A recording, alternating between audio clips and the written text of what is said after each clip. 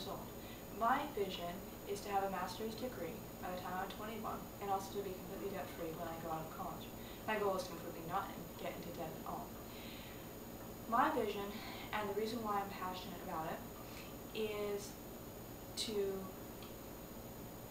have something to do with business, but also uh, to combine that with textile arts. I am a spinner. I I'm also a knitter and I'm a quilter.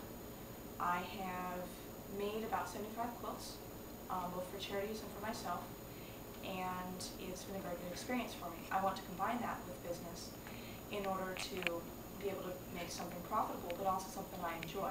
Whenever I've done anything else, I've always gotten burned out about it, but with business and with quilting, I haven't, and I've been able to keep going on even though I've been doing it for several years. The biggest thing of why this scholarship would help me is because I don't want to get into debt at all. And with a scholarship, I will be able to achieve that goal. Thank you.